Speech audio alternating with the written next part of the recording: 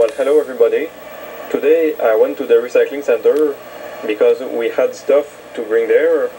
And I went into the container that contains electronics and uh, I found a VCR so uh, I brought it back. It's uh, this one here.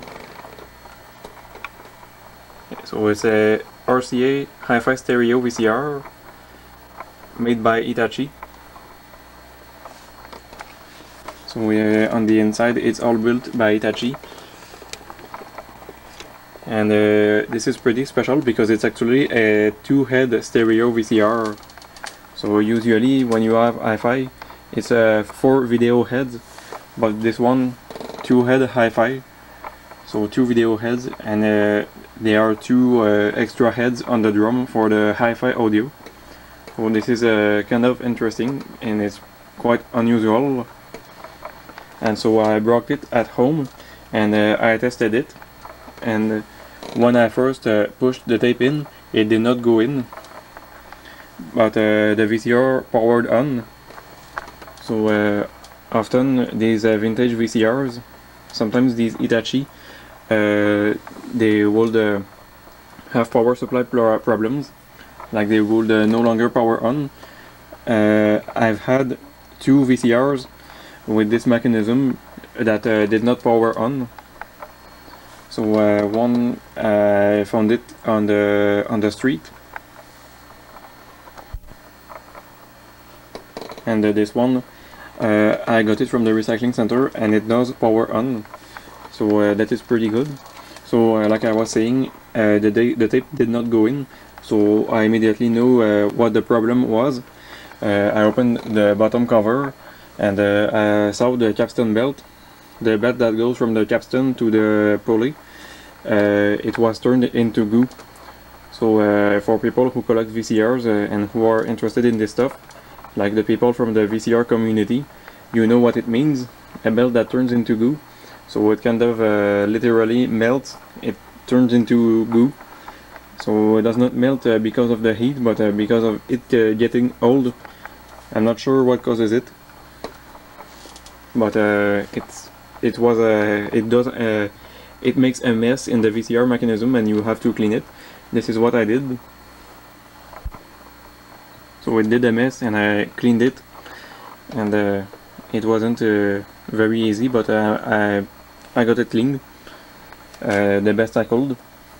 And I replaced the belt. And now it's working great. So that is pretty cool. It's now fully functional. It was just a belt so I'm gonna turn it on now.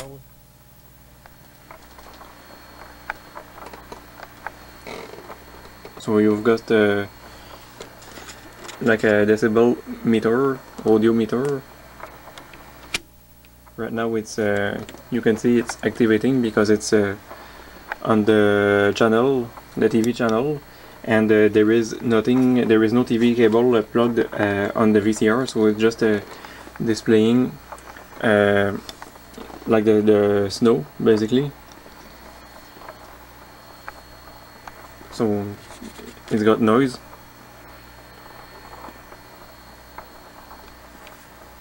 And uh, so uh, if I put it on the AV input line now uh, the noise disappears.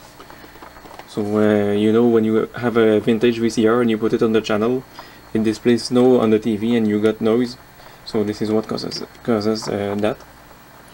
And you have here uh, this uh, kind of uh, slider switch.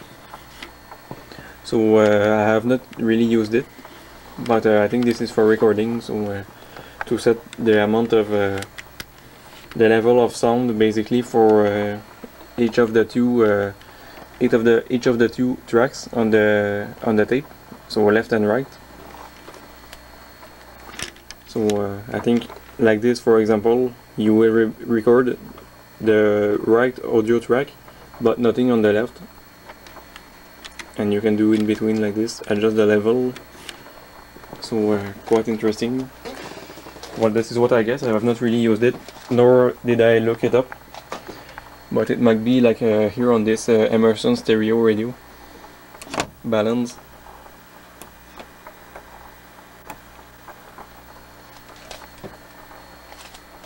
Only here it's not a it's not for recording. It's uh, for the the speakers. The uh, speaker output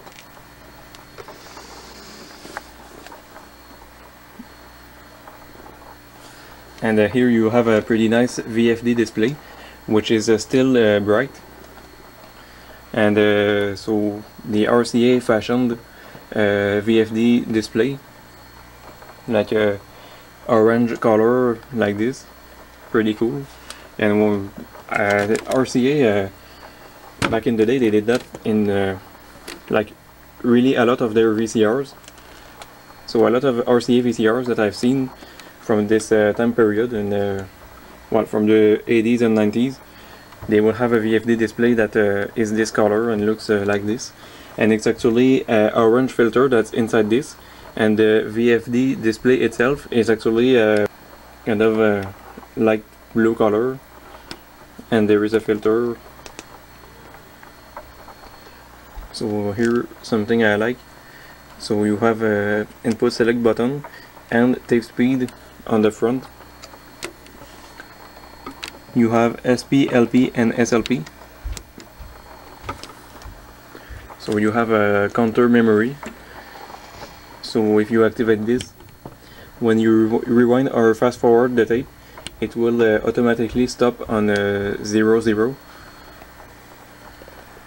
so a lot of 80s VCRs had a button uh, like this one on the front you have counter reset. To reset the counter a lot of 80s VCR had that too. And uh, pretty much all VCRs I think uh, have this button uh, on the remote. And uh, this one uses a 4 digit counter not a real-time counter and you have the clock here uh, next to it. And I have not set it. Uh, so you have manual tracking here this knob and you have a phone plug so if you want to plug uh, earphones on the VCR and uh, the volume here probably. And uh, the main tape the main tape controls they are here and they actually light up. So stop and pause light on. So uh, pretty strange that the stop and pause button are the ones that uh, that light up and not the play and fast forward and rewind. Should have been the opposite to that kind of does not make sense but uh, it's like this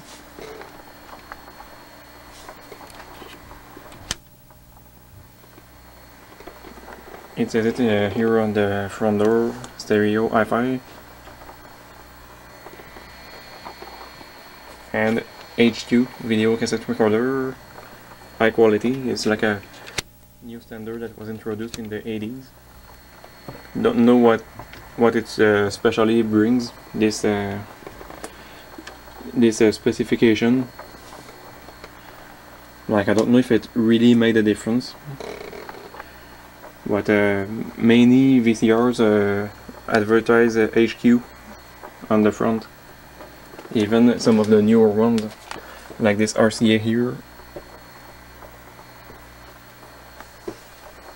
And many of them, like here it says it, here. So many VCRs. So here on the back side, you have connectors that you don't usually have so uh, here so in addition to uh, the AV input and output you have this so uh, a special connector it says a CATV adapter so I don't know what this is for. Uh, if you know it uh, tell me in the comments. So uh, you have a regular TV in and out. And since this is a very old VCR you have uh, UHF so uh, these things with the screws. So uh, they removed this on uh, later VCRs because they, this was a this was a standard that was uh, not used anymore in the later days. And you have the information here, which does not say the date, but uh, I guess around 89, uh, 1990, this VCR. So uh, model number VPT630HF so uh, there are a lot of VCRs not only RCA where they add the letters HF at the end of the model number when it's a hi-fi VCR this is what it stands for. You will have an unswitched uh, power outlet here. And you have a uh, well, regular AV input and output. And you have system here so an extra AV output and audio too so I don't know uh, I don't really know what it does but uh, I plugged it to the TV and uh, it outputs the same thing as this. So uh, I'm not sure why it is called system and if it does something different. And here control. So uh, this uh, what I'm guessing it is is like a system control to control other VCRs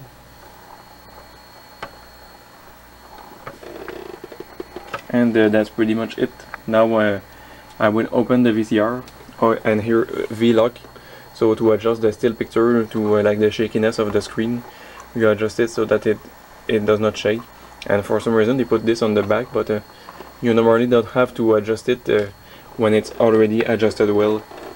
Now here's the VCR with the top cover off and uh, so you can see what mechanism it has.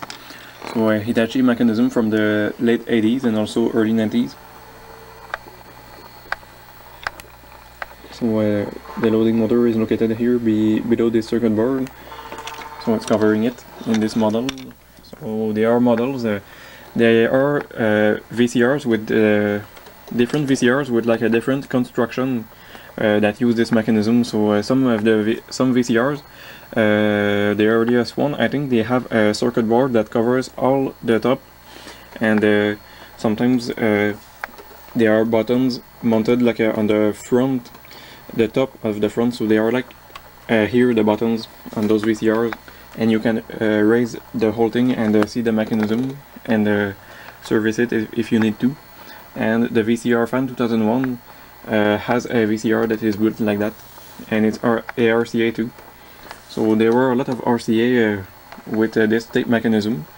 And they also made other VCRs with the circuit board at the same location. But it's not the same shape. You can see the loading motor here. And uh, so here the circuit board in those that I'm talking about does not cover the mechanism. And uh, the, this VCR has this mechanism and is built like that. So this one it's uh, it was built uh, little later than uh, this one. And it's uh, more basic so you can see this is all the buttons it has on the front. But this one is a four head so four head mono this one. And uh, you can see the drum here with two, two video heads and two hi-fi audio heads. And uh, I don't know if this is a date here but if it is it says 87 11 05 so uh, 1987 will be when this VCR was uh, manufactured I thought, I thought that it was a little later but it will uh, make sense. 1987 so uh, now I will insert a cassette.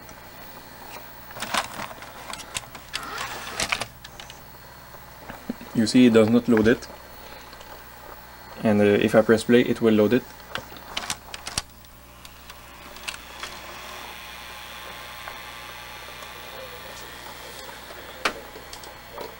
And uh, the video is uh, working very well.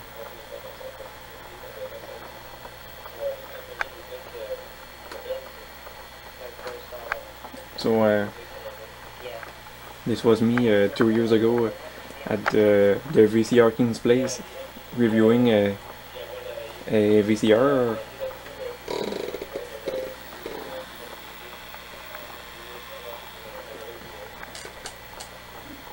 So you can see next to me the uh, toaster box where I store uh, different things. It's here right now.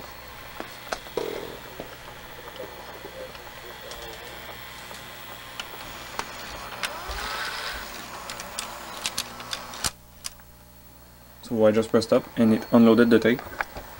It will it will uh, keep the tape unloaded when fast forward and rewind.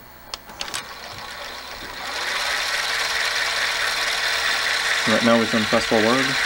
Now rewind.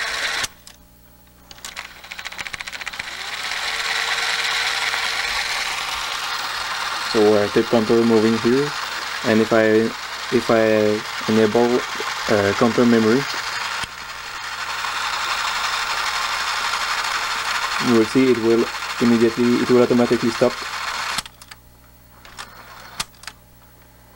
It's not that accurate actually. Oh okay, no, it's, it's, it's just because the tape was at the beginning, so I thought it stopped at zero, but uh, let me fast forward it a little bit.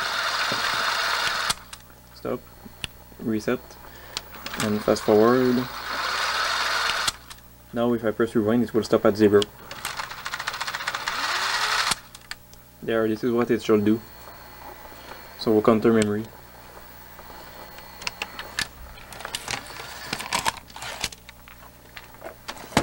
So uh, one belt replaced on the bottom side and now it's working just great. So uh, that is nice. So uh, here the power supply. So like you had on the 80s VCRs and early 90s.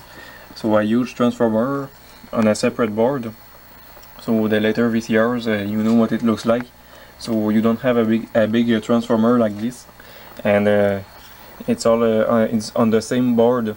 So and there's only one board for all the the electronics of the VCR you got a fuse here and uh, it's getting warm. I can feel it here.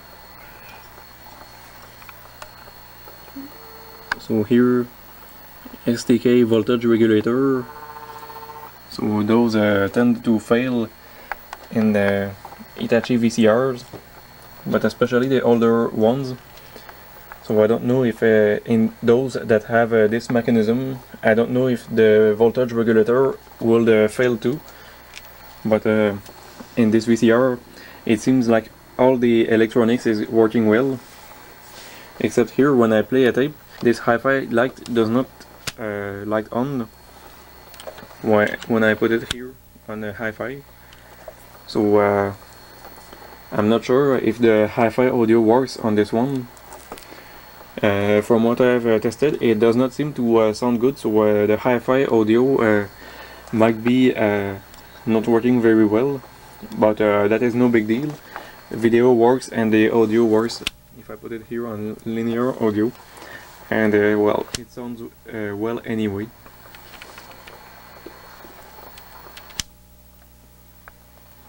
and the pinch roller is in a good condition too. And uh, I cleaned the heads and uh, they were not very dirty. And uh, when I got it and I saw that it was a that it did not take the tape in I knew it was a bad belt and I I figured it will it will, will have uh, probably turned into goo because in the Hitachi VCRs they tend to do that more than others so for some reason, different VCR manufacturers did not use the same uh, type of belt, so not the same material. So uh, if you find a Panasonic, like uh, this Philips here, which is a rebadged Panasonic, uh, there are good chances that the original belts are gonna build uh, are gonna be still good uh, in it. And if you find a Hitachi from this era, well, there are good chances that the belts are gonna be bad. So especially when you uh, find the the earlier mechanism with the five belts, so uh, they all go bad. So you're never gonna find one with the original belts that are still good. You're always gonna have to replace them. But it seems like this one you don't. I have not replaced the belts in this one, and they were all perfectly good. Although I, I did uh, boil a belt in it, so uh, you can boil belts if they just don't adhere well, but uh, they are not deformed.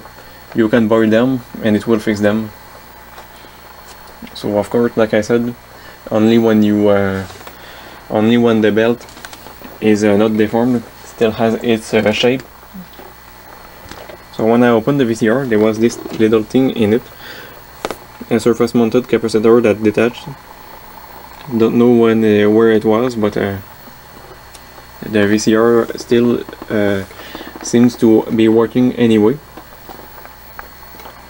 So now uh, this is pretty much the end of the video and uh, I'll see you later for another video. Bye